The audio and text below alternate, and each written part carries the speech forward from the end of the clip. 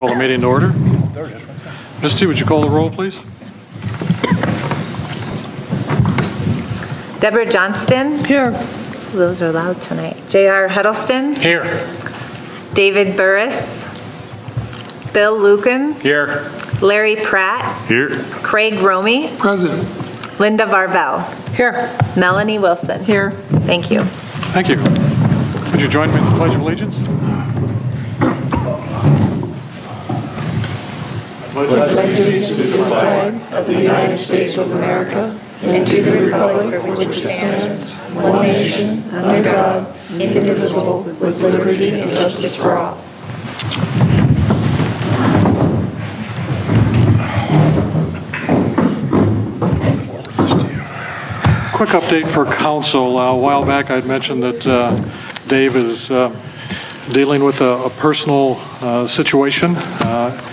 It's getting better, and he hopes that uh, he'll be with us uh, soon. Again, if you want to reach out to him and ask him how he's doing and wish him well, uh, I'm confident he would appreciate that. Uh, As always, conflict of interest. If you have anything that uh, you're uncomfortable voting on, please let the council know. Um, Can I get a motion to approve the agenda? I'll make a motion, we approve the agenda. Second. Discussion? All in favor? Aye. Opposed? The motion passes. Uh, Motion to approve the minutes from the August 1st meeting? I make a motion to approve the minutes of the August 1st council meeting. Second. Discussion? All in favor? Aye. Opposed? The motion passes. Uh, Motion to approve the bills in between? I'll make a motion to approve the bills in between for $246,616.80. Second. Discussion? All in favor? Aye. Opposed? The motion passes. A motion to approve the current claims. I make a motion to approve the current claims of $76,568.77. Second. Discussion? All in favor? Aye. Opposed?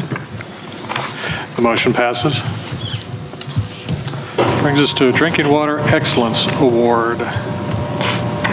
This is an award that um, our water department has gotten for quite a long time, so. uh, Tracy, looks like you're the only one? Tracy? No, that- that's Gav. I'll grab the microphone. That's. Oh, okay.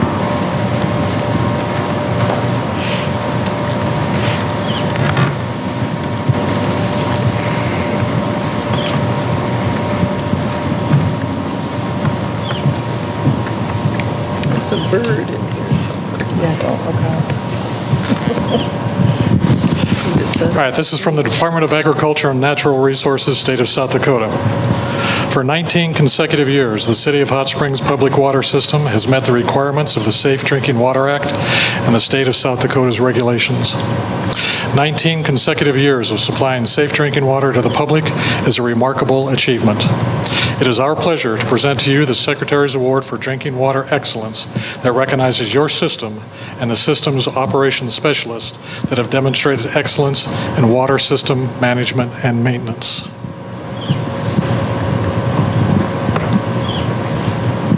And the the award reads, Secretary's Award for Drinking Water Excellence 2021.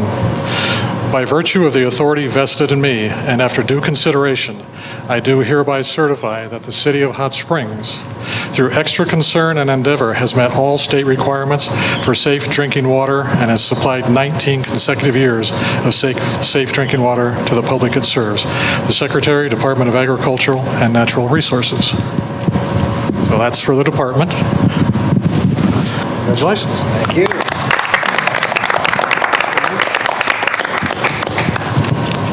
Then we have some individual ones. Uh, They all read the same, so I'll read the first one. Uh, This one is for Sean Hiley. You are a system operations specialist of a public water system that has met the requirements of the Safe Drinking Water Act and the state of South Dakota's regulations for supplying safe drinking water to the public. For your efforts and concern for safe drinking water, we would like to present this Achievement Award to you. This program was initiated by the Drinking Water Program to renew, to reward those systems and their system operations specialists that have demonstrated excellence in water system management and maintenance.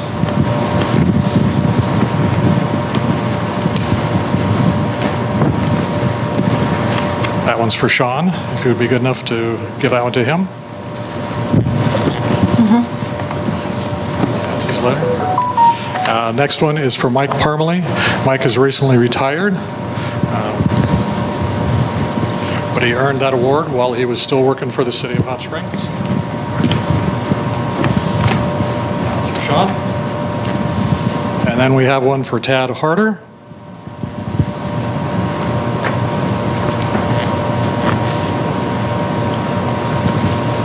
One for Pete Miles.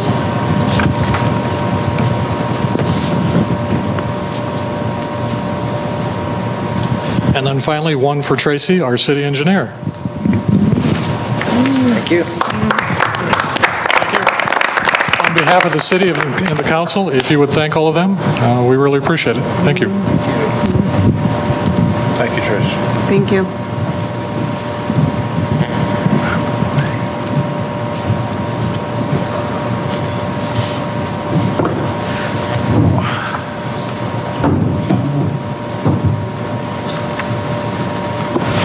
Communications from the public.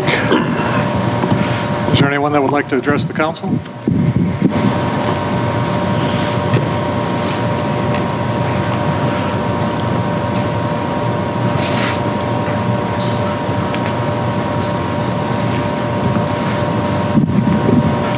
Donna Creswell, 2469 Fern Circle. I just wanted to know on the new road on Jennings, on the side of the post office, how is one supposed to park? Because the way the spaces are, I mean, when you back out, you back right into whatever car's coming. I mean, there's barely any space over there. So everybody's parking parallel to the uh, sidewalk.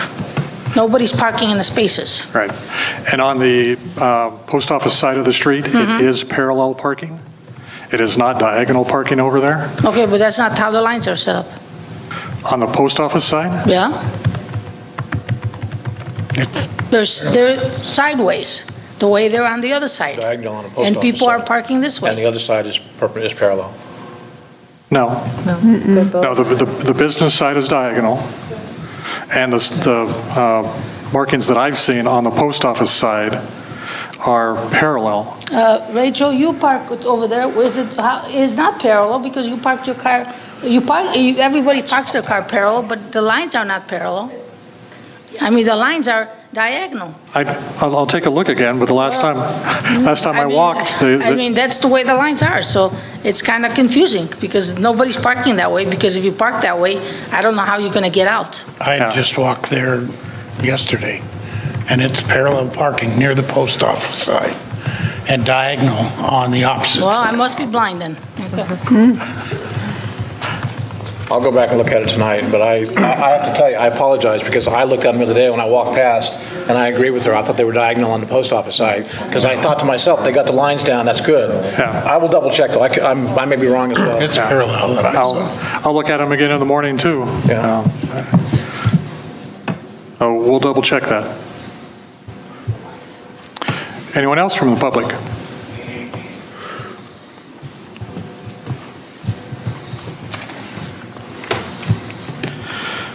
We'll go to our council updates. Andrea, are you here for Shedco? I might have to have help raising this. Is that good? Yes. Thanks. Good evening, Mayor, City Council. Um, Andrea from Shedco. I submitted a report to you a couple of weeks ago, and I'm just assuming that you read it, and I don't want to be redundant.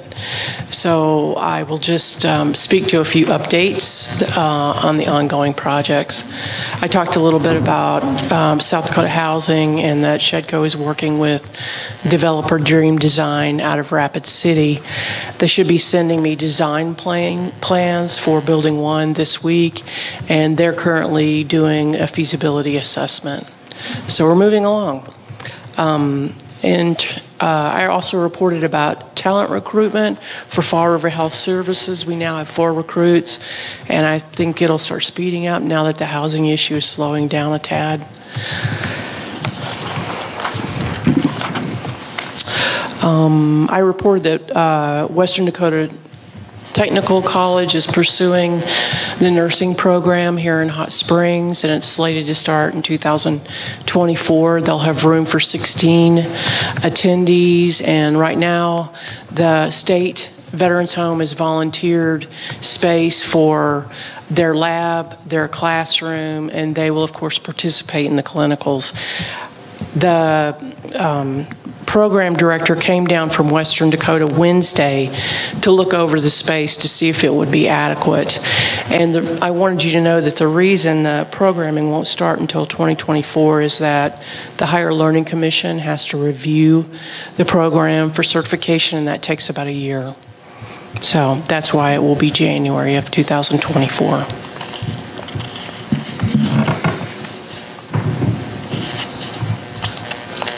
Is there going to be like dorm space for them? Those are not the plans right now because we're expecting everybody to come in from um, commutable areas. Okay. That's the purpose of having the program here. Okay. Yeah.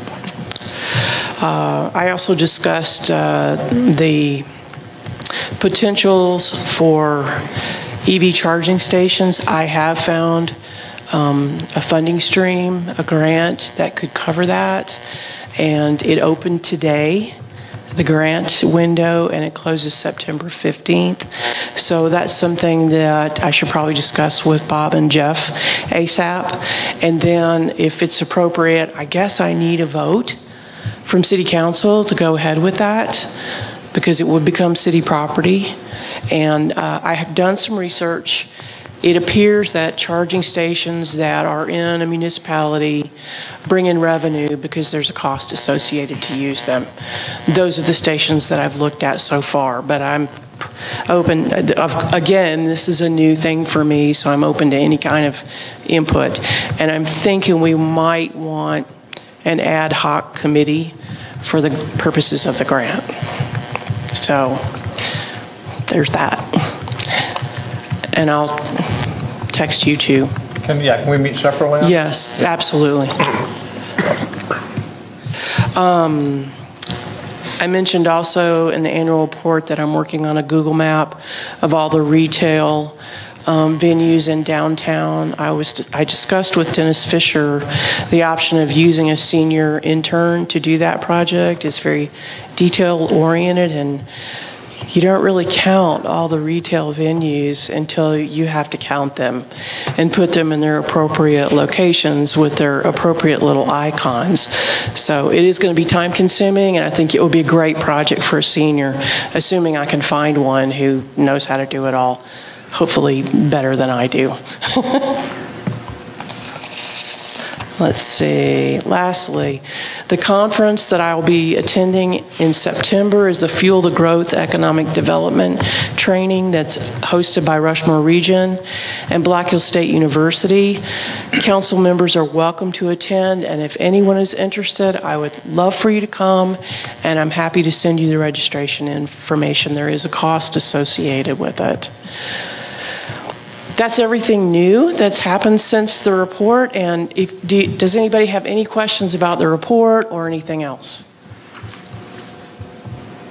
I didn't catch what you said at the beginning about Shedco working with Dream Design for building a workforce house this no, week. building one.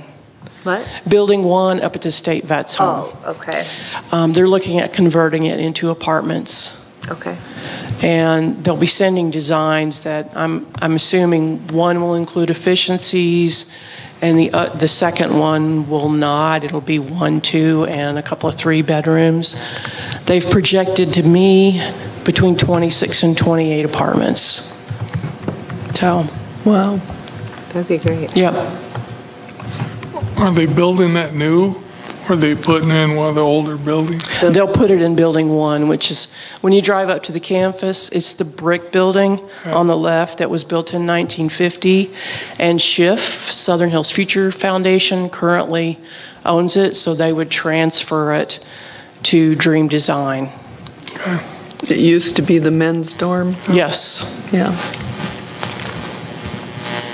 So I have a question about the uh, charging stations. Yes. Any thoughts about where they might be located?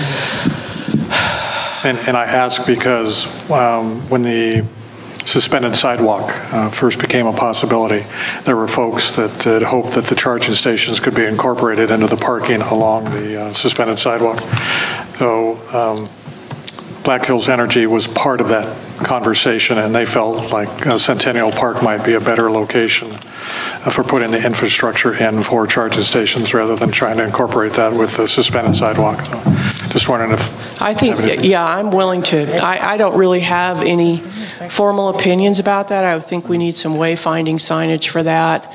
Um, In looking at the parameters of the grants, I have a couple of arguments that I, many arguments, but two of them that rose to the top of my mind are that we're the last community before you hit Prairie, and then there's no more possibility of a charging station for 60 miles in either direction, and that produces EV charging angst mm-hmm. for people who have electric vehicles. So we're losing visitation because we don't have that capacity. And secondarily, with all the new funding that I'm sure you've heard about coming from the feds um, for EV everything, um, I think, I believe that vehicles that are EV are going to come down considerably in price, and having some charging stations available in neighborhoods that are lower income, I think would be beneficial. Even having someone here, a couple here at the Mueller Center for people who live in the area, I think would be helpful. So having some focused on visitors and some focused on um, residents who probably don't have the ability to charge on their own property would be helpful, I think. So those are the two things I've come up with. And there is a diversity element in the grant, and, and that would, I think, address it. Andrea, if you can send me the information you've got, and then I'll, I'll meet separately with, with the committees, because um, that's on the list of things we want to look at. Oh, good. I'm glad to hear that. Mm-hmm. I, I want to share some ideas with, with the committee before we go any further, and then, and then we'll talk. Okay. Is that okay? So we need to be quick about Yeah, all yeah, of no, I mean, it, because yeah. I only have a a month. Gotcha, okay. But you're talking about EV stations for vehicles. What- Vehicles. Yes. What happened to disability? No, we- we've already Oh, got, that's a different thing entirely. we've already got those, Larry. Yeah. But that's, that- that's, This is a different, different grant and for, for cars.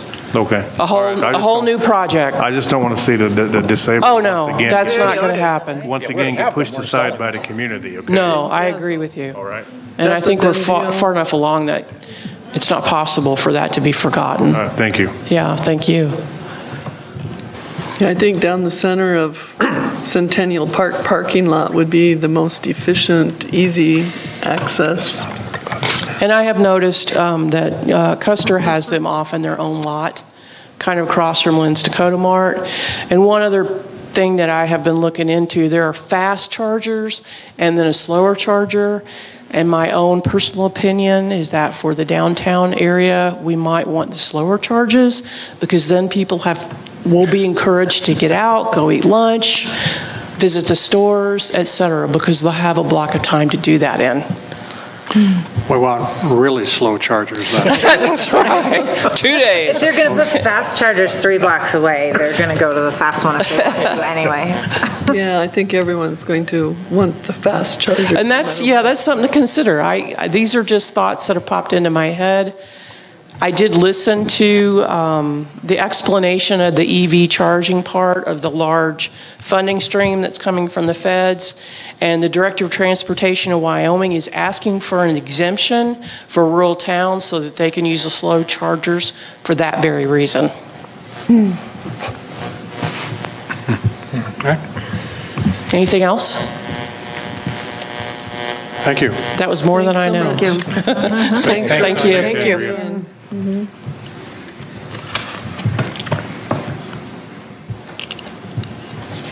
Tracy, you're next. Well, good evening once again. Um, This will be, basically be a once-a-month update as we go through the big project. And um, the primary focus, of course, is actually the city's part of things, which is strictly the utilities. Um, We'll let the DOT worry about all the concrete and all of that. But uh, anyway, um, you know, uh, the work, of course, is continuing on the pavement placement down on the south end of town. Uh, They've got the center um, part uh, done today, and they were uh, doing the uh, expansion joints, and it actually looks pretty good. It, I think it was a visual illusion all the time. I think a lot of us were driving along there. We thought that one side was a lot higher than the other, and it's not. it's not. I was assured by the by um, Rich Zocker that it wasn't, and he was right. Uh, Jennings Avenue is open, other than the light fixtures. Um, we're anxiously awaiting seeing a couple of the brand new light fixtures show up, and it's my understanding that they'll just be on the south side of the street in that block, and they'll be LED. So we'll be starting to get some modernization of our lights. Um, The main objective, of course, of my report is city utilities update and uh, what is going on. Um, The biggest thing that's probably new in the last month is the discovery that um, a lot of our valves on the section of the water main from University on south, which is a PVC water main that um, is not being replaced because it's PVC. Uh, we did find that the valves, the actual bodies of the valves, the outside structure, um, has been very badly corroded by the uh, very corrosive soils. Um, and we actually had one that we've replaced uh, in the intersection at Galveston that the body of the valve was actually starting to leak water. I mean, through the outside of the valve. So we could have had another big water main, you know, type of failure in that area rather soon. So uh, it's very prudent, uh, given what we've discovered with these uh, conditions, the valves, that we do replace the valves. Um, the pipe is good, um, and that area is from what we can tell, was bedded well, uh, simply because of the fact it was farther from where there was conglomerate and a lot of rocks. So when they put that water main in in 1980, they had fairly good soil to put it in. Um, so the valve replacement project is going to be accomplished by city crews. Uh, it doesn't take that long to do. Uh, we've already done uh, one intersection. Well, actually, we've uh, we've done some work on the Fifth Street intersection as well. Um, the total cost for the valves is at current prices, and I do stress that, is about seventy thousand. Um, I uh, did an invoice for a valve uh, in uh, late June that um, I we bought the exact same valve last week, and the price had changed by about 11 to 12 percent in just uh, five weeks' time. So hopefully that trend will stop, or slow down, or reverse. But uh, it does seem prudent that the sooner we're able to, you know, get the valves ordered and get these things procured, uh, probably the better off we're going to be price-wise. Uh, that is the probably the most significant news right now. The other uh, item that we are anticipating, and I have uh, also mentioned in the report a couple weeks ago, is we're expecting a price from the uh, utility contractor, which is DRM, for the additional 1,900 feet of water main replacement from Minnekahta Avenue up to Battle Mountain. And of course, that is actually a PVC line, which is only 42 years old. But we found when we had that big break last winter up by the courthouse, that area and we've fixed, we've dug it up and looked at some a couple other spots. Um, they just when they put it in, they put big rocks all around it, and about half of our water main breaks in the last 10 years have been on the PVC, on the new type of pipe, or relatively new, uh, installed in the 70s and 80s when they just thought that that type of pipe was impervious to anything and you know, they just put whatever was in the, in the pile and put it in there. Uh, We had a really big, big break about 15 years ago down by Evans Plunge, and that's what it was, it was just a rock. And of course, that was the same thing with what we found last winter.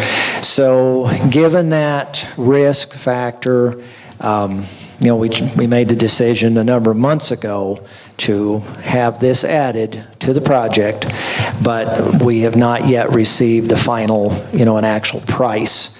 So um, the plans are in the hands of the contractor at this point. Uh, They were encouraged to possibly submit that price in time, even for today, for me to prepare a change order, but I never heard anything from them. So our next available opportunity is September 6th, um, but it's in, the the ball's in their court.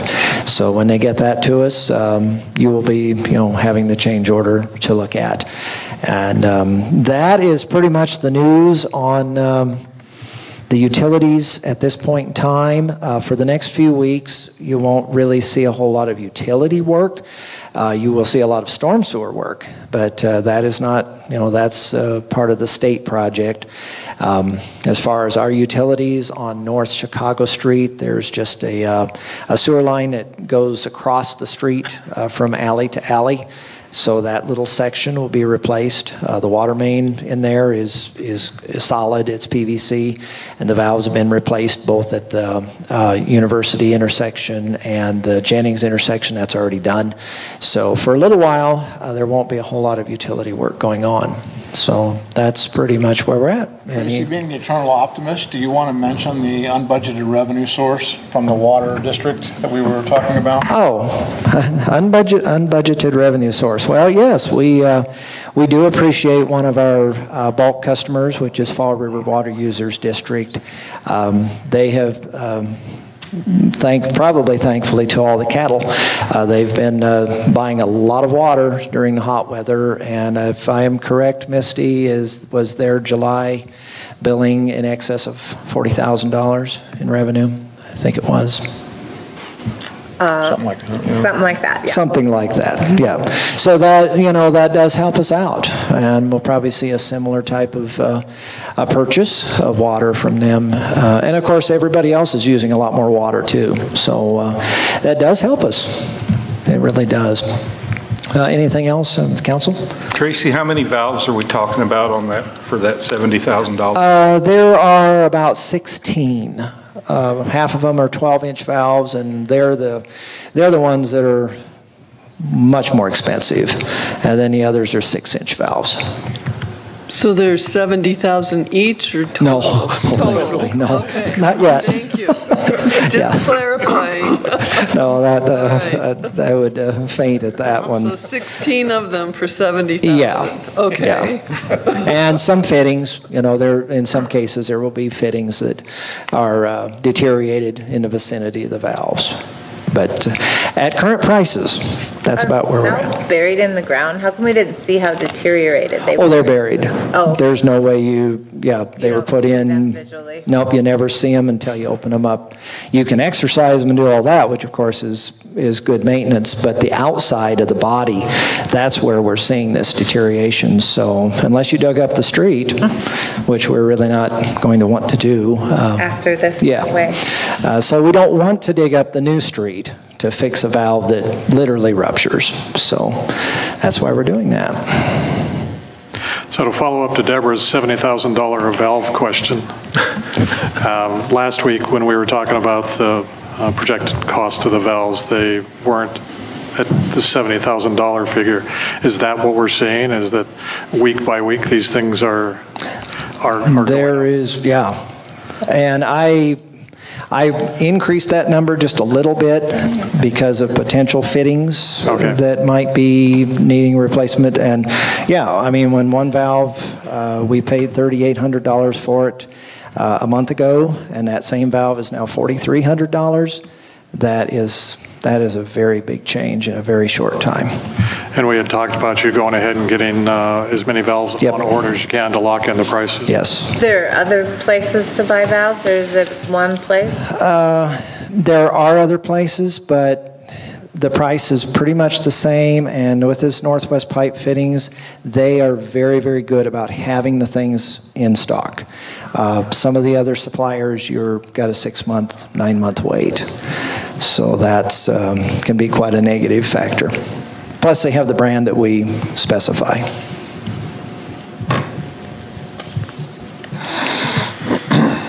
Anyone else? Thank you, Tracy. Okay, you're welcome. so much. We'll Thanks, talk next month. Thanks to you and all your crew for what they do for us. You're welcome. That takes us to personnel. Uh, Can I get a motion to approve personnel actions A through E? Make a motion to approve personnel actions A through E. Second. Discussion? All in favor? Aye. Opposed? Abstain. Abstain. Did you want me to mention, there's a revised effective date on personnel item C. You approved his last day on the last agenda is the 30th, and it was the 27th, so it's just a revised date. And I've got your abstention, thank you. All right, the motion passes. Takes us into new business. New business item A is discussion only countywide law enforcement. Uh, And this is our first opportunity to let the public know that um, we were asked by the county commissioners uh, if we would we be willing to have a conversation with them regarding countywide law enforcement. I had talked with the council, and they were in agreement that they wanted to have that conversation. Um, Melanie, Deborah, Linda, JR, Bill, uh, and myself attended last county commissioners meeting uh, and shared those thoughts with them that uh, we would have that discussion. Uh, We would begin looking at uh, what that might mean. Um, I had said at the time that uh, I don't think this is a decision that council should make. This is a decision that the residents should make. They should give direction to the council, uh, whether they want citywide or um, their own city police department, or whether they want to partner with the uh, sheriff's department to have countywide law enforcement. So that's the purpose of this discussion, is to let the public know. Um, Let City Hall um, know your preference. Reach out to the council, let them know. Uh, I've asked Bill and JR to make this uh, a standing agenda item for their public works meetings, so the public can attend there. Public safety. Public safety, thank you. Um, We need to figure out what kind of contract we would put in place uh, with the county, what kind of services we're asking for, so they can come back with the cost, uh, so that we can put all that information in front of the council or in front of the public. Uh, My thought about doing that is, would be to create a survey on the city's website once we have all the details, uh, outlining the services and the cost for uh, city police department, um, services and cost for countywide law enforcement, and then ask uh, the public, uh, the residents of Hot Springs, how they feel about each one, and let council know which direction they want to go. So we'll begin having those uh, discussions. Uh, We'll need to meet with the, um, include the sheriff-elect uh, in that conversation. Uh, We'll have a new one starting in uh, December. I just want the public to know, let the council know how you feel, let City Hall know. Um, If you have questions, uh, you know, ask those questions so we can um, include them in a list of um, what you want included in uh, your law enforcement. Oh. Council, you have any comments? Were we considering a public hearing, or just reach out individually and then compile and? Yeah. You know, at at this point, Mr. I would uh, ask them to, you know, let them, let us know, once we have all that information together and and know what it's going to look like. Uh, A public forum at that point is is probably a good thing to do, to to reach as many of them as we can. But initially, um, my ask would be to attend the public safety meetings, reach out to your alderman, um, let City Hall know how you feel about it. Would there be an option to have a vote, like in November with the election? Um, I would defer to finance to tell us how soon that would need to happen. Typically, um, council would make a decision and it would be referred if we're adding something for a vote. So you'd have to make a decision first. You can't have them do it for you.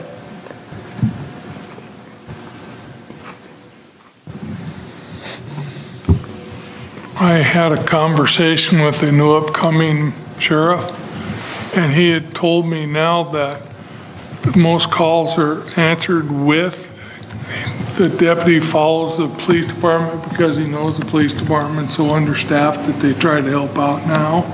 So it has been happening, that the county's been helping the city on every call.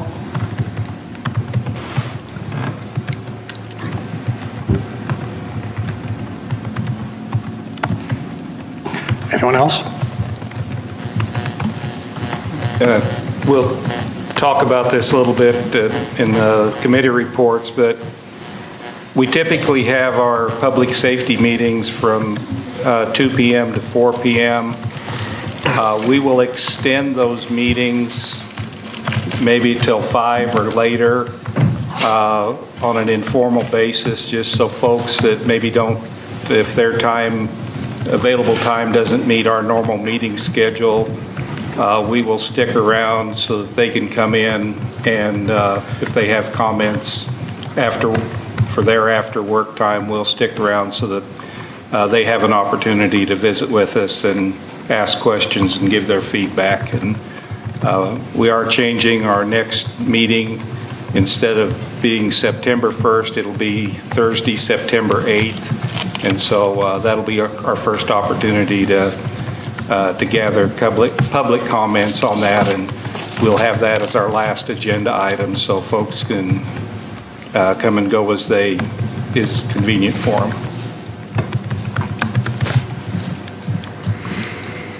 Anyone else? All right, thank you. New business item B, a possible motion discussion to approve and authorize the mayor to sign the three-year memorandum of agreement. I'll make a motion to approve and and authorize the mayor to sign the three-year memorandum of agreement with Keep Hot Springs Beautiful related to the care and maintenance of the bump outs and the Sixth Street Welcome Island. Second. Discussion? Yeah, on third page, well, it could be, or second. Number five, says we're gonna install and maintain, maintain an irrigation system. Public Works never said that. We said that we have to put other irrigation systems in town that hasn't been put in yet. So we're not on board with this right away.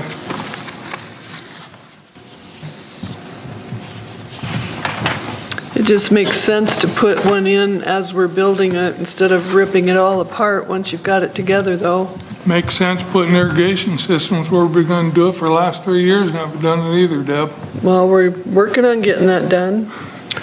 We're trying to get it done, but when you're building something new, you save a lot of money doing it right up front instead of trying to do it after the fact.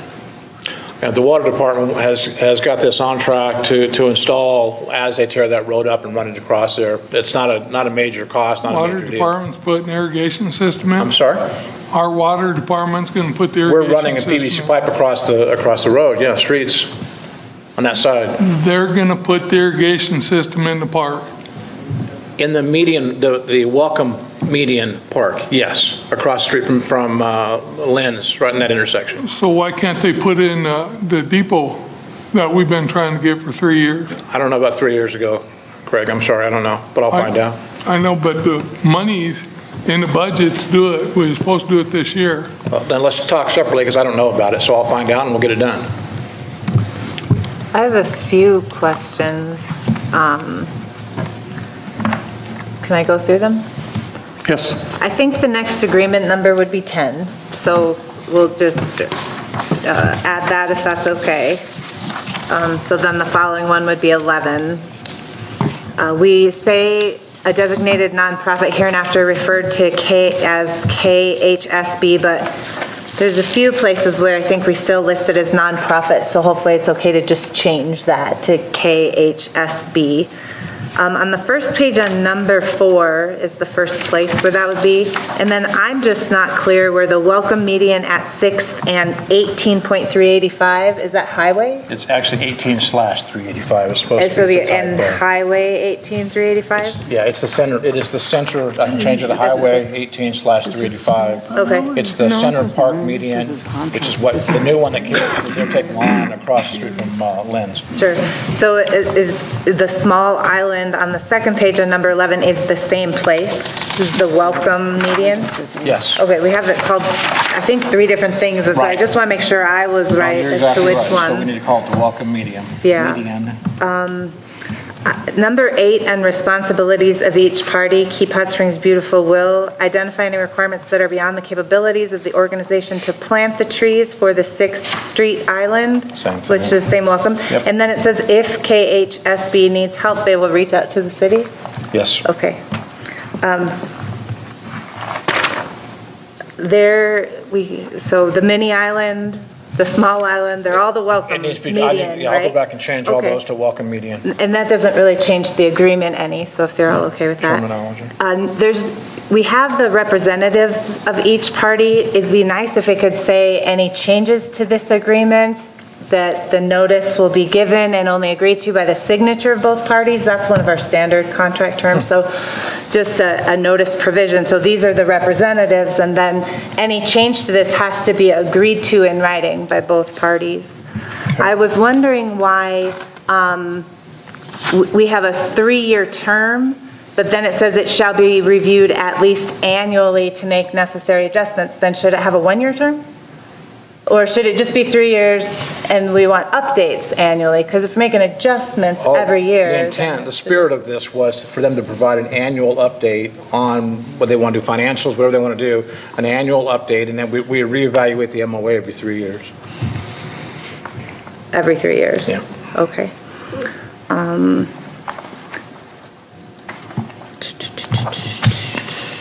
There's no insurance provisions, commercial, general liability, workers' comp. If none, if they don't have any of those, should we require that there be waivers? Um, There's no termination provisions either in the contract.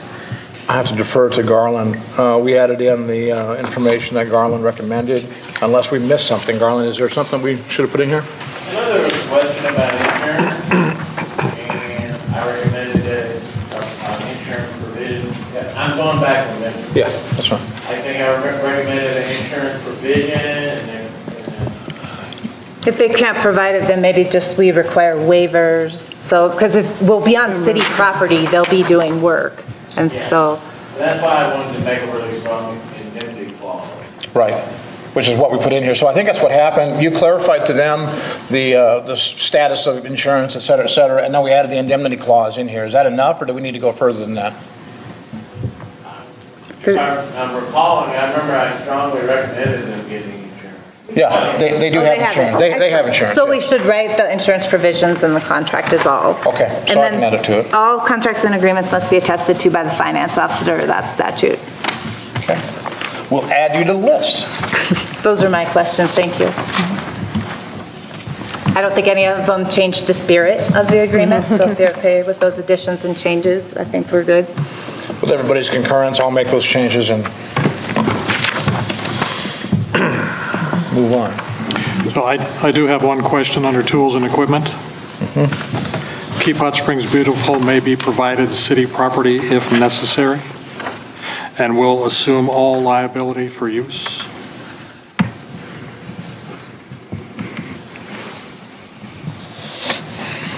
Question? Should it say equipment? Any clarification there? Yeah. I mean, it's put in there as we do with any other private organization where we, if we can, if they need help with something, we provide them a shovel or a rake or something. We're not talking about machinery and equipment. We're talking about, um, Or really property, we're talking about like equipment. we are talking specifically hand tools, that kind of thing, if they need help with something that they don't have.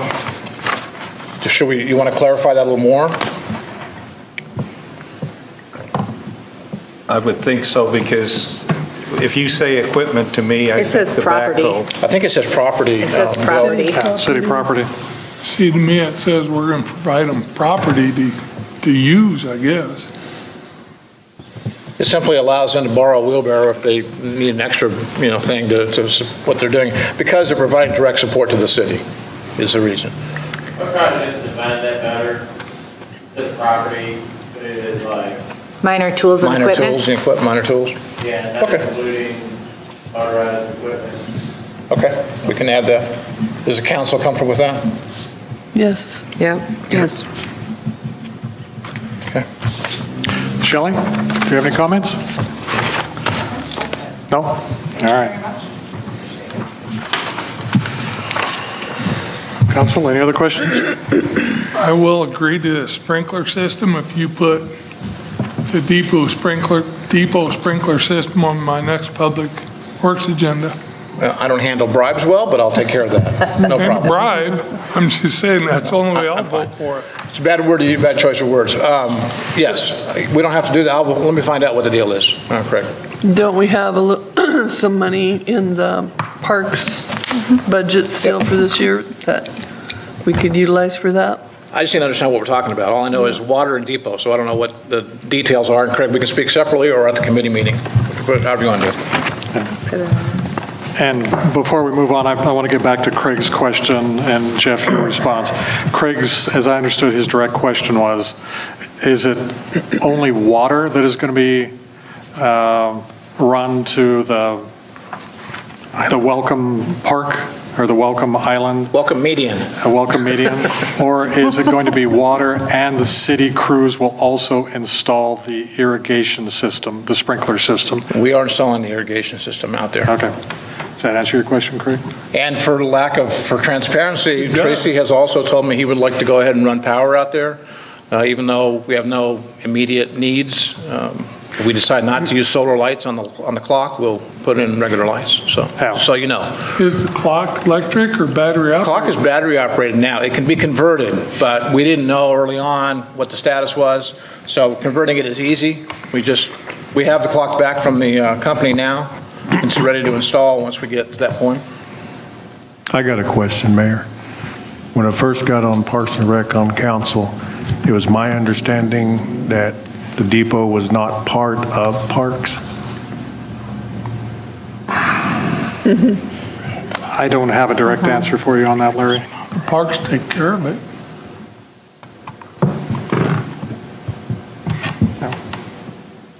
Okay, I'm just. I'll bringing find that- out where the Just money bringing was that bud- question forward, so we're going to start throwing money around, we need to, No, we we're not need to throwing money, understand but I'll, what's I'll going to find out happen. what was budgeted for that project and where was it, it was budgeted. I have not seen it yet, to be honest, so.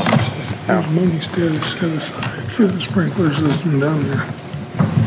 So my request to you, Jeff, would be when it comes to installing irrigation systems, we got uh, quotes to install the irrigation system at uh, Brookside. We got quotes to install an irrigation system at the depot. Um, I'd like to see you get a um, quote to install the irrigation system uh, at the Welcome Median, uh, so council can decide whether they want to go that way or whether they want to have city crews install it. Uh, We're now expanding city crews' responsibilities into installation of irrigation systems. Okay. Uh, If you do that, I would appreciate that. Take care of it. All right, any other questions? All in favor? Aye. Opposed? The motion passes. New business item C, a possible motion and discussion to approve and authorize the mayor to sign an agreement with Jamie Johnston. Um, I make a motion to discussion to approve and authorize the mayor to sign an agreement with Jamie Johnson for code enforcement support to provide local support to the contract with Joel Johnson. Agreement will, um, agreement will not exceed the current budgeted authorization for the code enforcement professional services. Second. Discussion. What kind of qualifications does she have? No, there is no relation, and he's, one of the problems here, and we- we discussed this in the committee, was that he's out of town. So this is a local person at a less, a lesser price, if you will, um, because as you, as the council knows, we budgeted less than half of what we spent this year for next year's service. So we're trying to transition into that. That's not, I asked what kind of qualifications does this person have to do this? I'm sorry, I thought you asked about relationship. I Well, did. you asked, I'm Yeah, sorry. sorry. I apologize. I don't have the information for you, Craig. Uh, I could have brought it to you at uh, committee, but I will send it, bring it to the next committee if you like. Will she be considered a site inspector? I mean, that's what we said per site inspection. I was kind of wondering what her title is. I don't know that a contractor has to have a title. No, not necessarily, but when we're wondering what her qualifications are um, to do this type of work, How do you expect somebody to vote on this if we don't know if they're qualified? Uh, Essentially, here's, okay, so here's the deal. What you're doing is you are hiring a person to go out and take a list of- that, that uh, our engineer, or excuse me, our um, uh, development coordinator gives that person, here's 10 houses, I want you to go look at these houses, take pictures, make notes from the street, you're not going on the property. This does not require an inspector to do this. We're not going to cancel our contract with uh, Joel that we set. Right now, we've only spent, I'm, I'm not exactly sure, less than $2,000 for the year on him, but we need somebody locally that we can send out. And a lot of this has more to do with the nuisance um, uh, things, the the tall grass, the, you know, those kinds of things that we don't really need a, a home inspector to go look at. Doesn't have to be Scott to go look at this. It can be somebody like myself who can go take a picture and make some notes and that kind of thing. So that's the purpose of this position. So where's this money coming from if we have that? It's it's the same budget. We're, we're using the, the residual money that we have in this fiscal year, and then we're rolling into next year as well. We've only spent, as I said, less than $2,000 of the $9,000 that was budgeted for this, for this fiscal year. We will not exceed the current budget, and we will not exceed the current budget for next year, the budget for next year, sorry. So if that one guy comes back, his is so much an hour too, out of the same budget. Yes, absolutely. It's the same, it's the same money that's budgeted for this year, the same money the budget for next year. How much are we paying that one employee we're hiring now? Who, this person? This says It's in a contract, $5 $5 per site house. inspection. Per house? Per house, per visit, and we control how many visits and where that person goes.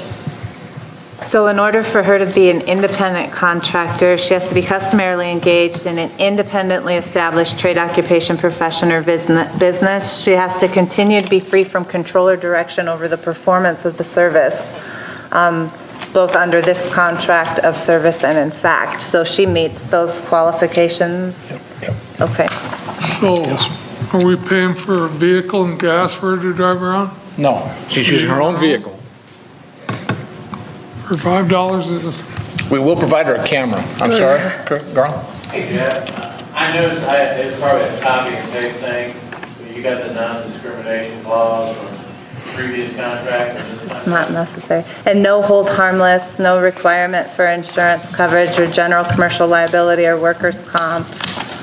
So I apologize to Garland. This is the one that I think caught you quick and with no time to really read through it. So I think that, I I don't know if I saw this draft or not. well, you did, but I think I threw you under the bus on this one. Um, We can add in those clauses. If we can get, if we get general consensus to agree with the contract, then I'll, I'll modify and put those, that standard verbiage back in the contract. You said the indemnity clause and the insurance clause? Well, no, the, uh, well, you added the non-discrimination clause, but it wouldn't be required. Oh, I see what you're saying. I got you. I think it was a typo. All right. Cut the paste. Yep. Do we want to specify the ownership of reports, data, pictures, and et cetera, since she's an independent contractor and these will be city things? Would we like to add those kind of provisions where we maintain ownership of those reports? So all work product belongs to the city? Yeah. Okay. Um, I think I have one more. so it says we're providing her all the necessary tools to perform the service. What are these necessary tools? Camera. It, the only thing it's a camera, to be very honest, a camera and, and a clipboard. What if she asks for a drone? Just. Good question.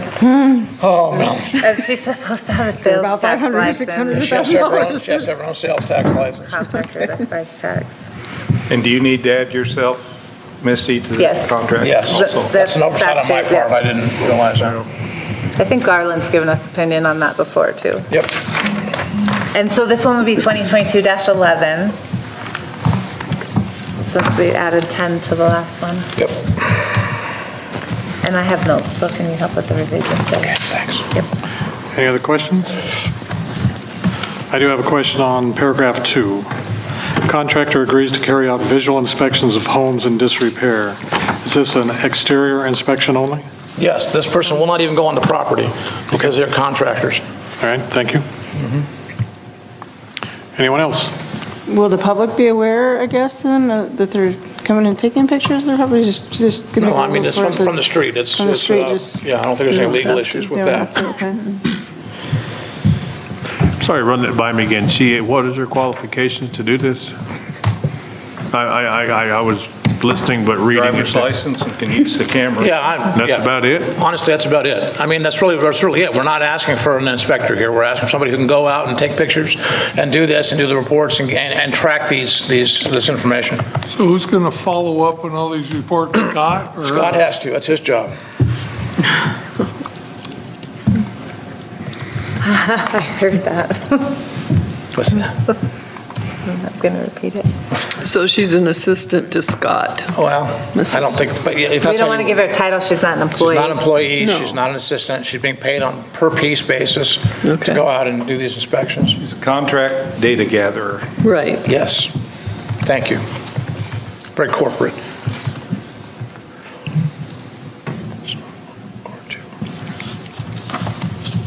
All right. Any other questions? Larry, you look like you're still reading. Oh, I'm, not- yeah, I'm just. All right. All in favor? Aye. Opposed? The motion passes. New business item D. Possible motion discussion to approve and authorize the mayor to sign a contract with Bradeen Real Estate. Make a motion to approve and authorize the mayor to sign a contract with Bradeen Real Estate and Auctions, Inc. to perform an auction for surplus city equipment in October 2022. Second. Discussion.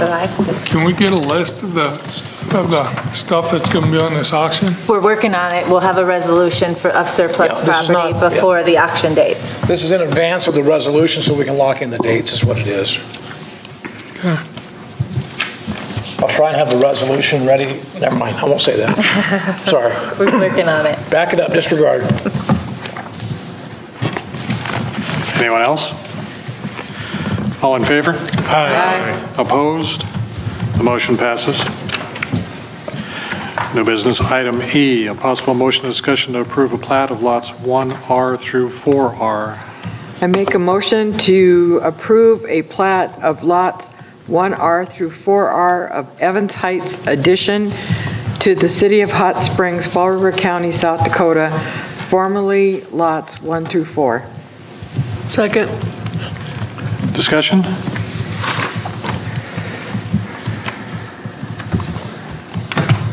All in favor? Aye. Opposed? The motion passes. New business item F, possible motion discussion to set a public hearing. I make a motion uh, for discussion to set a public hearing at 7:20 PM on 9/6/22 on the applications from the Frog Projects LLC, doing business as The Space, for an off-sale retail malt beverage and South Dakota uh, farm wine license and an on-off sale retail wine license to be used at 108 North Chicago Street. Second? Discussion?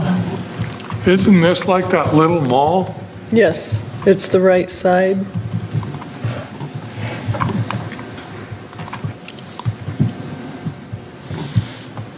So this is another situation where we have two criteria that you can vote on. We're just setting the Suitability hearing of the individual I agree. and, and the location.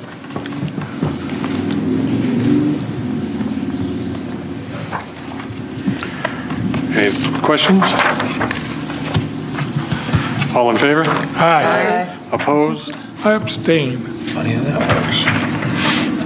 Did you get that one, Misty? I got it. Thank you. The motion passes.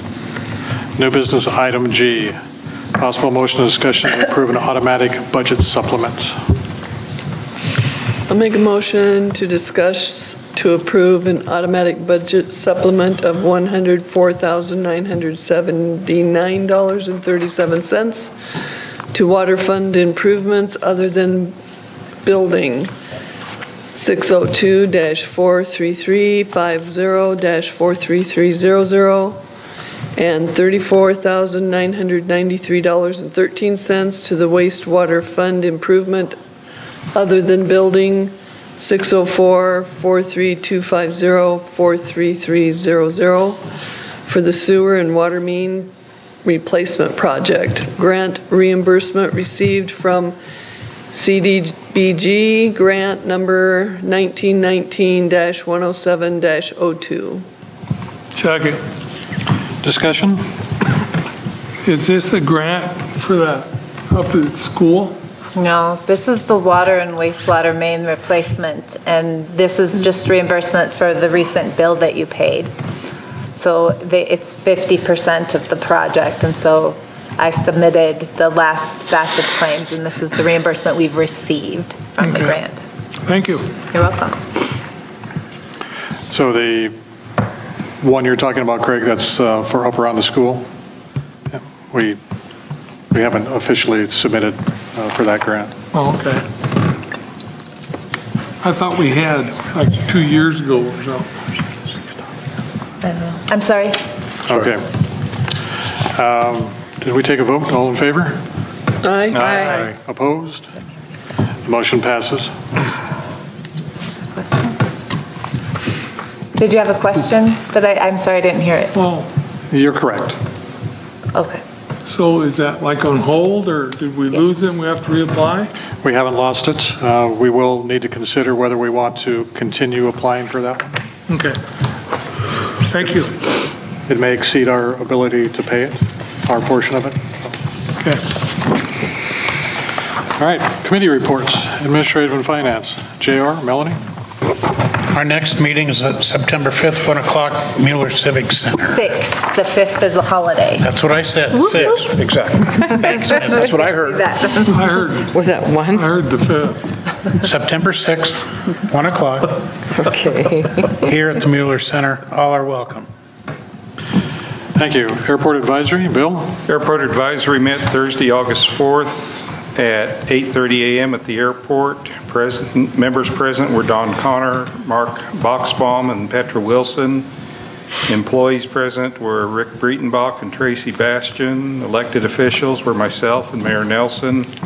Guests were Charlie Baker from KLJ Engineering and Ray Campbell from Southern Hills Aviation.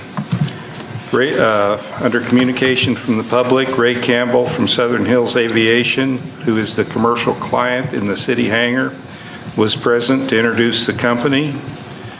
Um, We were also informed uh, by Ray that the Hot Springs Airport was a very hot topic at the Oshkosh Fly-In this year, so we're being talked about. Uh, Under airport uh, update from the airport manager, uh, 11 a.m. that day was a scheduling meeting uh, for the T hangars. Uh, Site excavation should begin sometime around August 12th or possibly August, today, August 15th. Um, The steel building is anticipated to be delivered sometime this week, and they're starting weekly construction meetings. July fuel sales, we sold 3,156 gallons of aviation fuel. Um, The airport manager provided some additional positive comments that have been posted on ForeFlight. Um, Transient stops for both hangars in July resulted in $1,255 in rental revenue. And July courtesy car rental revenue was $1,450. We had 175 flight operations in July, 25, or 21 balloon launches and two landings. And the Compass Rose has been repainted. Uh, Under old business, update on the Balloon Festival. Again, we've got uh, 30 balloons registered. Uh, Final planning meeting was uh, that afternoon. Uh, We've got two paragliders that we think will be participating in the festival. Um, Rick provided um, an update on uh, regional rates and pricing formulas for uh, hangar rental rates. Uh, the- We have a su- suggested rates for 40-foot and less, greater than 40-foot, and uh, greater than 50-foot wingspans. He also provided a list of comparison and suggested rates, and those have been uh, sent on to um, Jeff and admin finance. We're also suggesting that uh, for the T hangars, uh, $200 per month plus an additional $15 per month electrical surcharge. And also recommending a $200 non-refundable deposit to hold a T hangar and address any issues once the T hangar is vacated.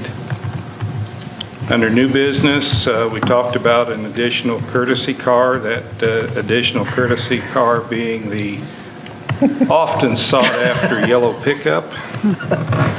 Um, We talked about courtesy car rental fees. Uh, We'll leave as is. Um, Rick will be posting pictures and descriptions of the courtesy cars on the airport Facebook page, so patrons understand what they're, uh, what what they're getting. Under items from the members, uh, Mark suggested that we advertise our airport. The discussion focused around doing this on Facebook and other no-cost options. Uh, We will have a privately sponsored fly-in that's scheduled at the airport on September 8th through the 11th. And uh, haying is completed and the hay has been removed from the field and the successful bidder of that contract wants to take the hay for the next two years per the agreement. Uh, The meeting adjourned at 9:30 a.m. and our next meeting is Thursday, September 1st at 8:30. Any questions for Bill? Thank you.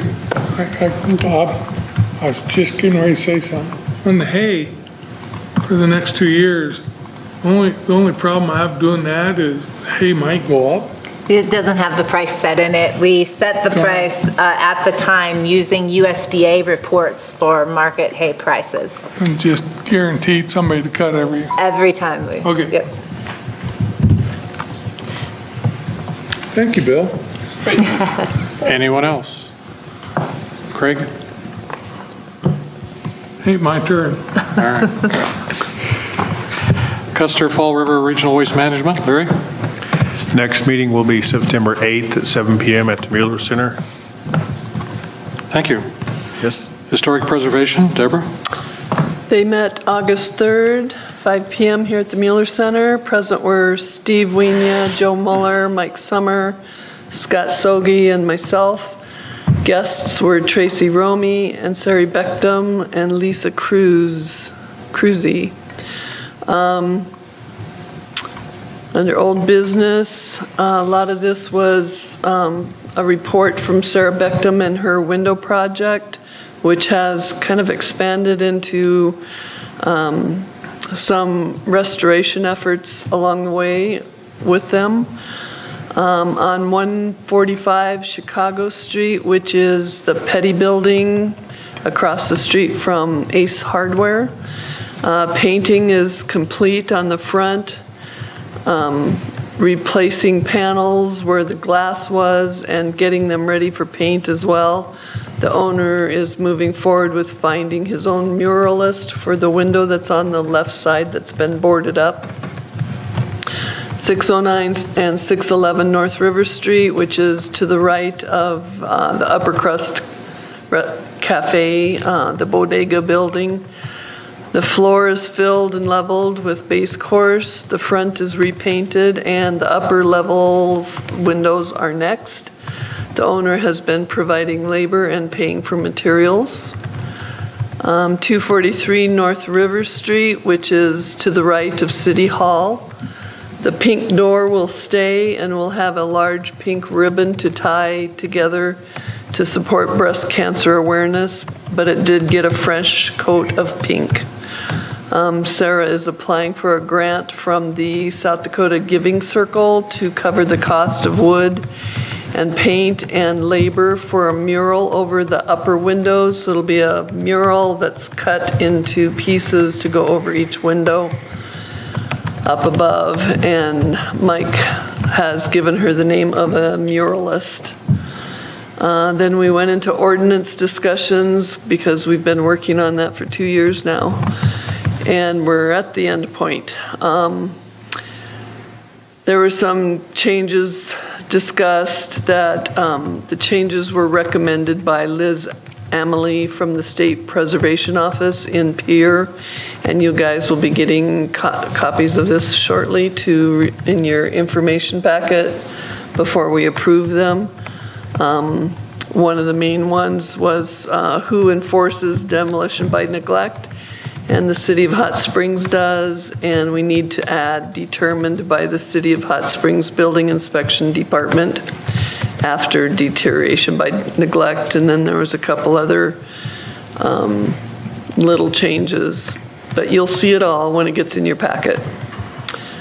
Um, Under new business discussion, possible motion on sign application for Midwest Mental Health at 505 North River Street, um, which is in the old um, medical building block down by um, Morning Sunshine.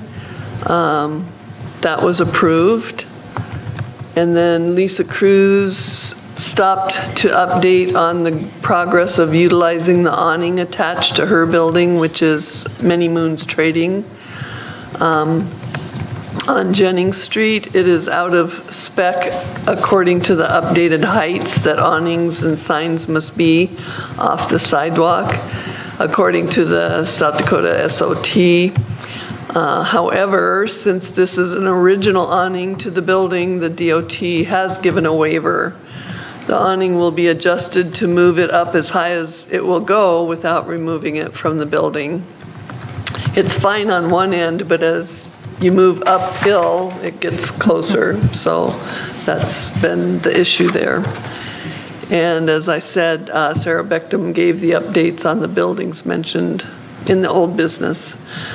Um, Meeting came to adjourn at 5:40, and the next one will be September 7th, 5 PM here at the Mueller Center. Everyone's welcome. Any questions for Deborah? Thank you. Evans Plunge Advisory, Linda? Okay, the Evans Plunge Advisory Committee met on August 11th, 2022, at the Plunge at noon. Committee members present were Chris Hansen, Kathy Wren, Okoye Zimiga, Tom Nas, Allison Ritterbusch, and Barry McNair. Absent were Dennis Fisher and Maris Smith. We uh, convened at noon. Um, A school update on the possible classes to be held at the Evans Plunge Min- Mineral Springs there was no update, has, there was nobody in attendance from the school to give us an update. Um, Admission range, admission age range category update. The issue was approved at a previous council meeting with a start date of August 22nd of '22. Staffing issues, we have a full janitorial staff, and with school starting on August 22nd, '22, we will be short-staffed on lifeguards. Front desk, we are having reschedule, or having scheduling difficulty. We will try to keep the outdoor pool open on weekends through Labor Day. Two of our slide dispatchers have expressed an interest in lifeguard training. We are still not getting in any applications. We are setting short, short-term goals with, and will re- reevaluate after Labor Day. In the last month, we have had seven saves, four coming off the whale slide, one seizure in the water, one off the jet slide, and one in the kiddie pool area. And I thank the staff for conducting an inspection and addressing the alleged mold issue, finding none present. Kathy Wren thanked Tom for the advertising on the gra- van graphics, and fall swim lessons are not going to happen. Perhaps a preschool or parent-child sessions later in the winter. Allison Ritterbusch, the school swim team will be gearing up in October. She completed the paperwork through the school so the swim team can let her as a sports activity. The next meeting will be September 8th, 2022 at noon at the Plunge. And then we adjourned. Any questions for Linda?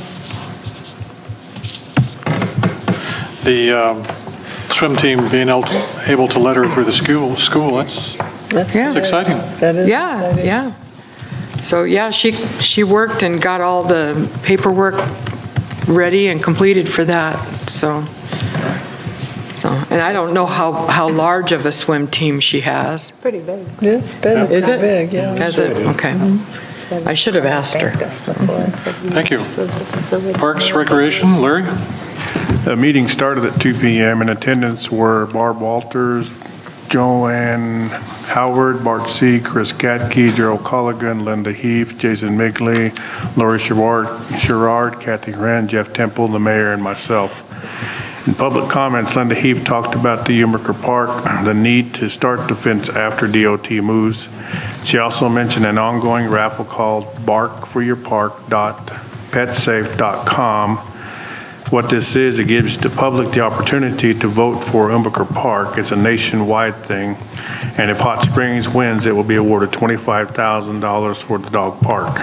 So everybody has an opportunity. It's called barkforyourpark.petsafe.com. Did you say pet safe? Yes. Barkforyourpark.petsafe.com? Yes, ma'am. Sorry, thank you.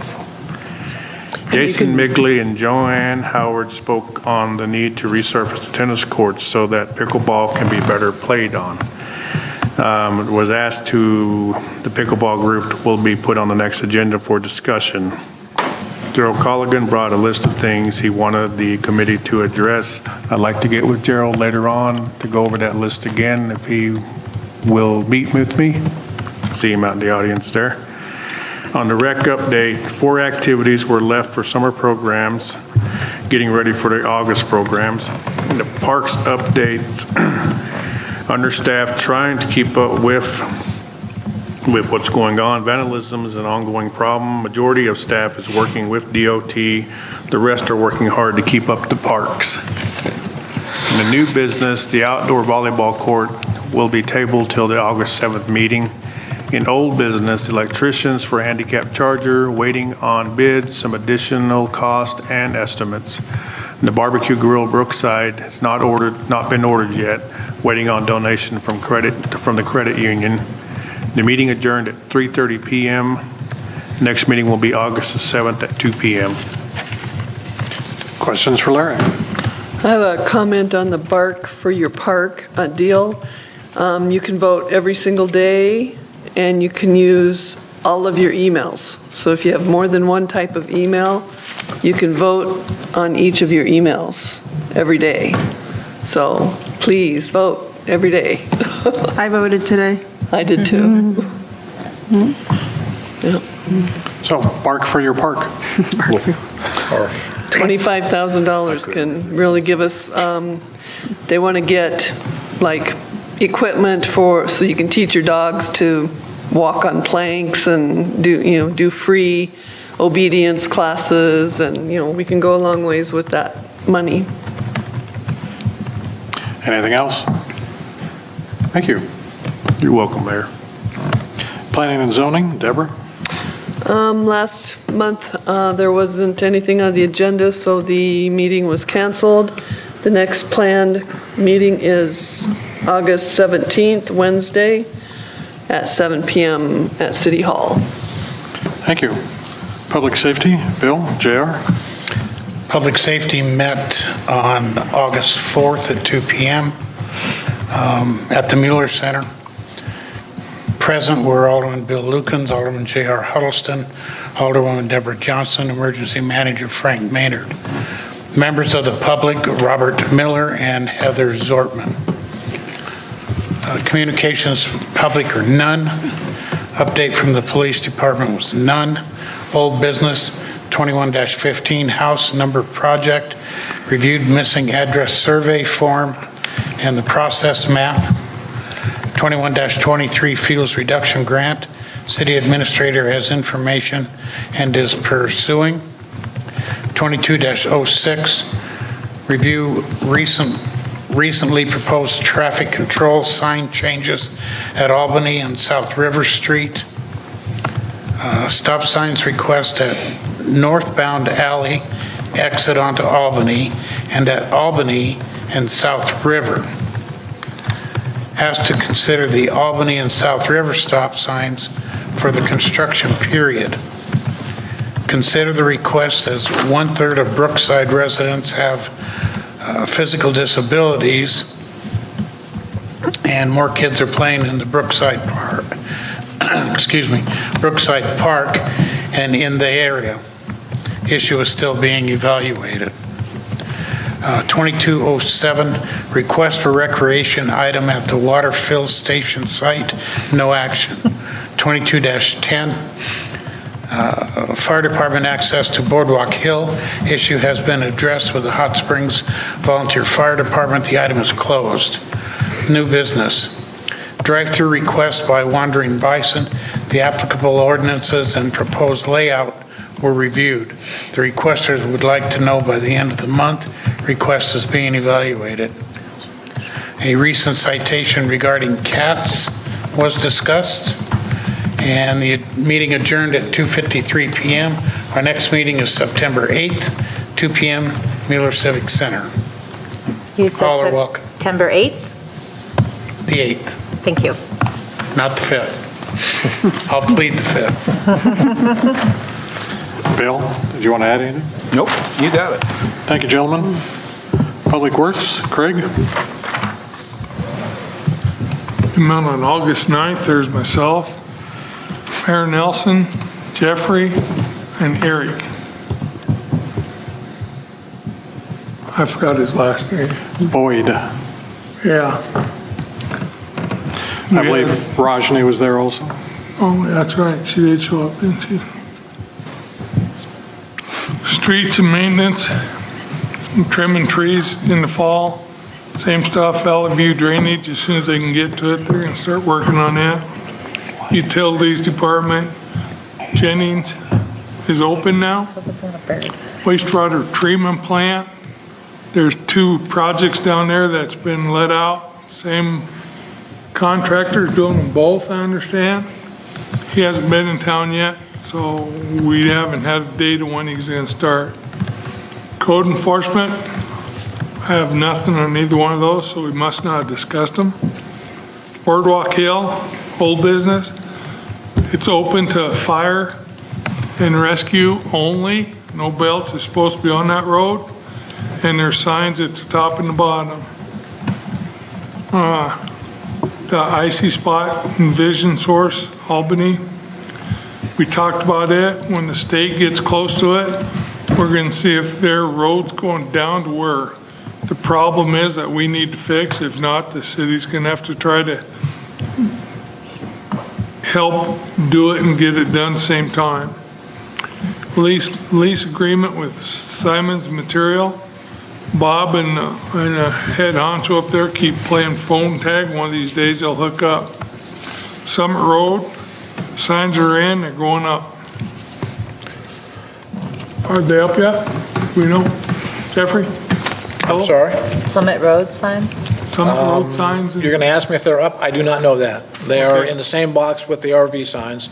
I've already sent uh, Billy a note. They will be up Fire- this week. Fire hydrant pressure in El- Edgewood Terrace. We're looking at it. I'm told that it- there's really bad pressure there, so like hardly any. So we might have to start doing something there. The light being moved from the top of bypass down to the bottom. It's, it's been okay to do, the city okayed it, they're just waiting for the people to get it done.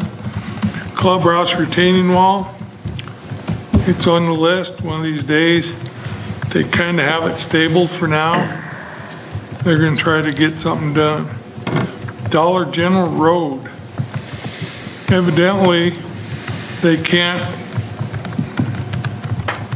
vacate it, so they're gonna have to fix it, and it's supposed to be done by October 1st, which is really soon.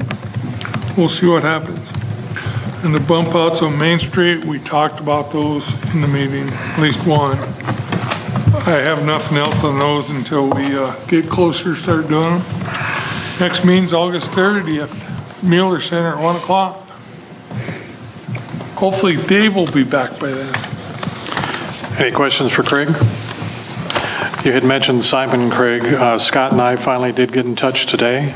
Simon is interested in having the discussion uh, about purchasing that property. Um, Good.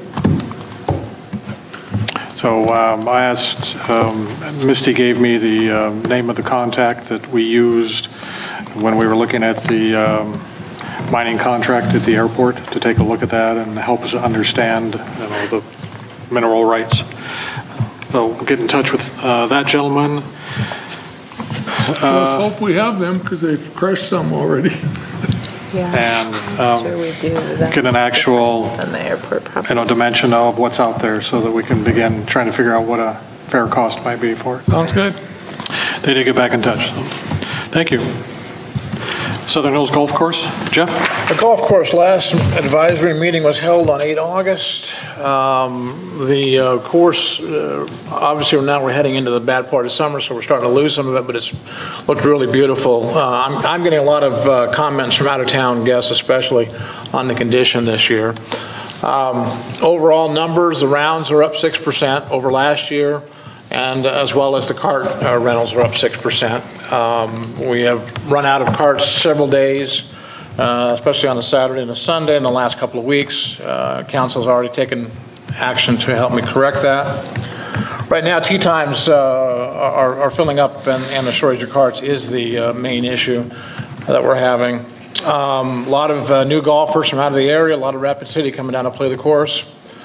Uh, The advisory committee is now reviewing uh, all their, all fees and charges to recommend uh, any changes or structure uh, changes. Uh, To that, we'll get that together. And finally, the the point of sale system's up and operational. I couldn't be happier with it, and I know PJ is, I know Misty is, so it was a good move all the way around. Course management has really improved on that. Um, Next meeting is 12 September at the golf course at 8, uh, 6 o'clock PM, sorry. Any questions for Jeff on the golf course? Thank you for all of your innovations. Really appreciate You're all your efforts. I don't know much. I know a few things, like State Farm. Um, On my end, for the um, city administrator, um, we picked up one uh, veteran this morning off of the uh, work training program, the CWT program. He should have come on board this morning. Uh, That's always a good thing. Um, City crews have been requested, and we are planning on doing so uh, unless there's some uh, consternation with this. Uh, We've been requested to assist the uh, dog park uh, nonprofit folks in digging the post holes over there for the fencing, because there's a lot of gravel and rock in that dirt. We're looking at about four, maybe three or four man-hours over there, is all according to Billy. Um, I only mention it because, and we do provide limited support to nonprofits on these kinds of things, when this is kind of the same example as we use with, uh, with um, um, Keep Hot Springs Beautiful.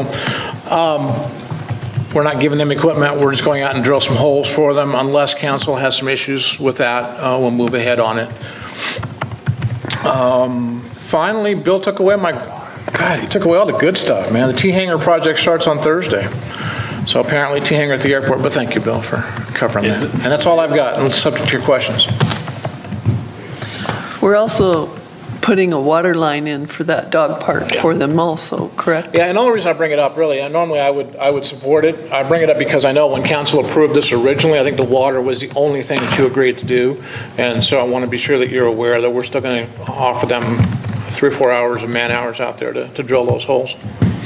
Is the street department gonna have time? They Well, time? we won't be able to do it, we can't do it now. So we, I've already told them that it- it'll be a fill in the blanks, you know, when we have, when they have a few hours they can spare out there. It'll probably be in the late next month, or early October before they get to it, so.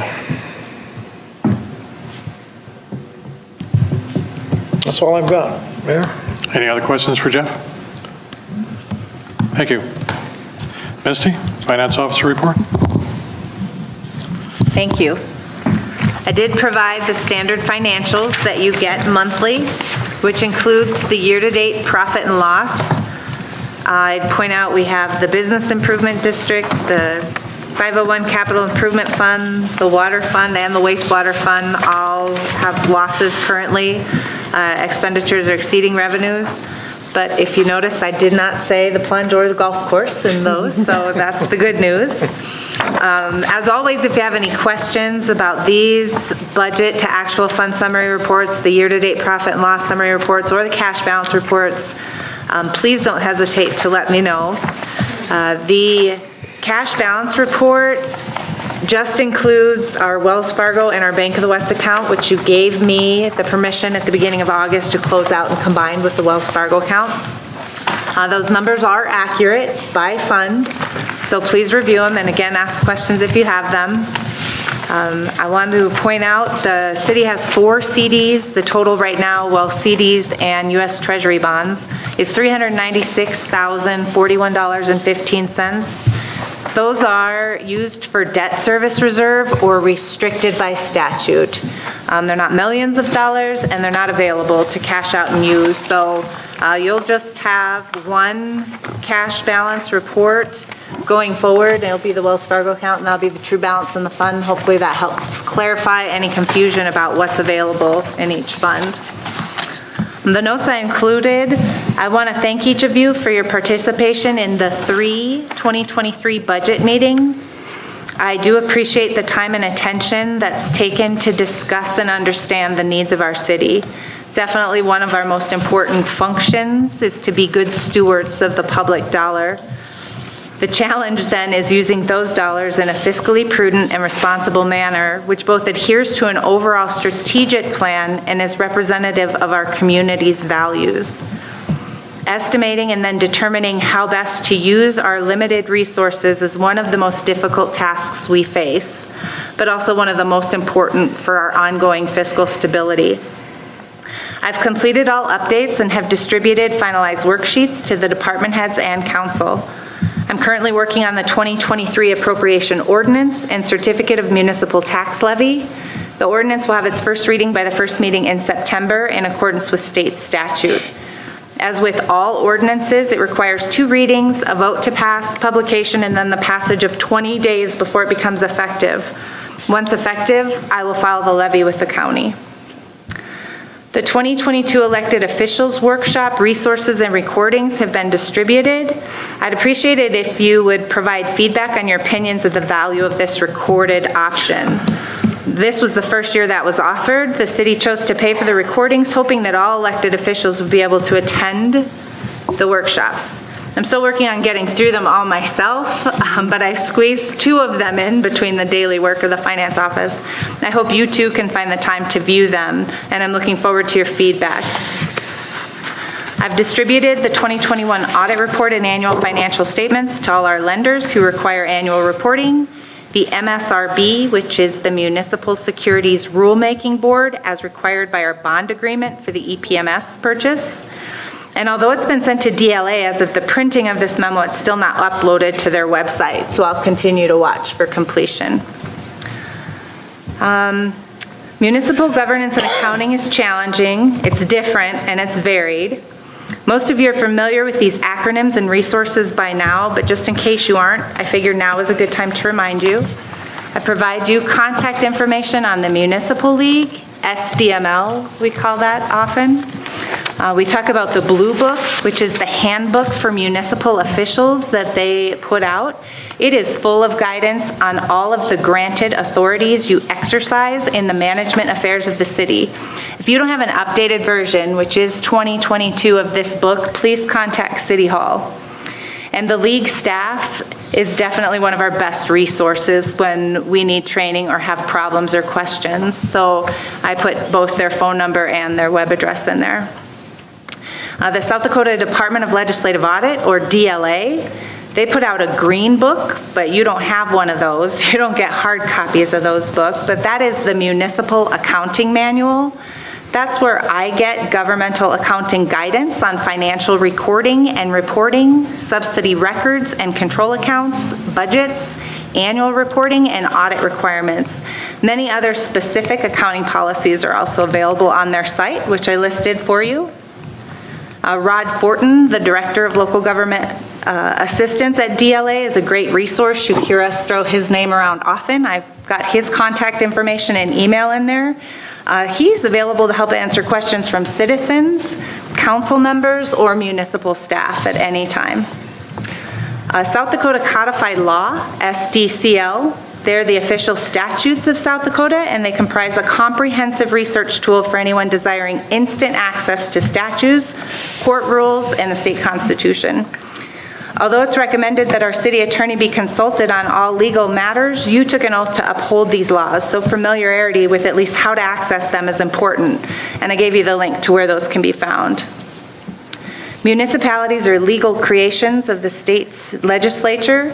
They're- It's provided for in the state constitution, and we only have those powers granted by that constitution or the statutes created by the legislature.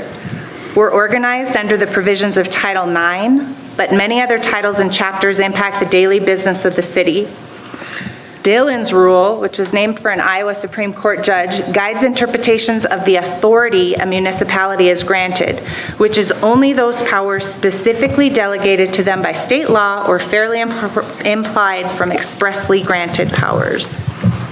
City ordinances, also included in your oath of office was the obligation to uphold those. They're permanent legislative acts and are necessary to carry into effect our vested statutory powers.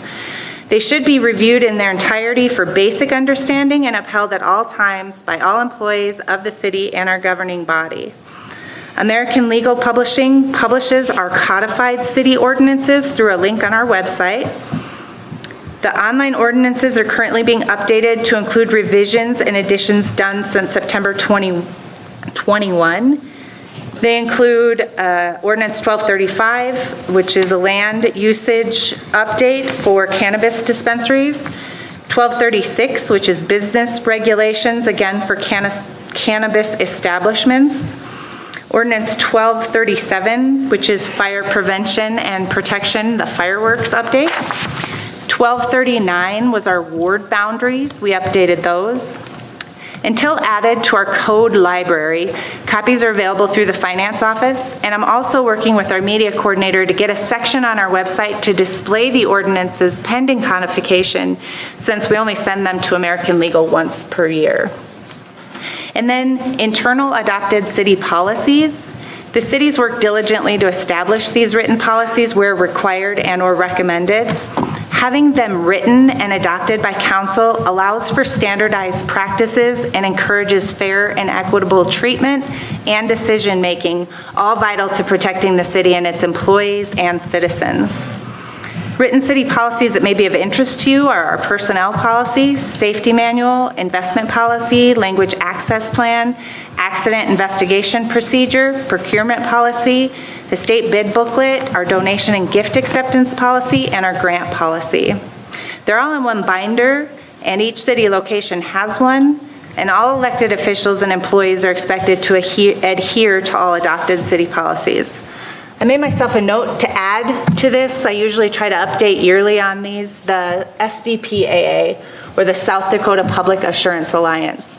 Um, They're an excellent resource for us. It's where our contract guidelines come it- from. It's where our independent contractor guidelines come from. Uh, And they're an excellent resource and provide us all of our liability, our property, our building, uh, insurance. And so next year, I'm going to add to this list and include those links and some of the resources that are available on that page for you too. Uh, You do a lot to keep our city running. Your committee reports show how vested you are. I appreciate what you do. My door's always open. Thank you for your questions and interest. Any questions for Misty? Thank you, Misty. Thank you. Uh, I'm going to defer lengthening the uh, council meeting. We have an executive session. Um, That may take a while. Uh, So if I can get a motion to go into executive session? Make a motion, we go into executive session in accordance with South Dakota Codified Law 1-25-2-1 Personnel. Second. Discussion? So that I don't forget, uh, for the public, there won't be any action taken after we come out of executive session. Uh, Garland, uh, we won't need you in executive session, so travel carefully going home. I need you before you go, though. Everyone needs a lawyer. And Misty and uh, Jeff, if you would join us, um, I'll explain a little bit more about why we're having executive shall. session once we're in there. So all in favor? Aye. Opposed? The motion passes. Ouch. There'll be a five-minute pause before we actually get started.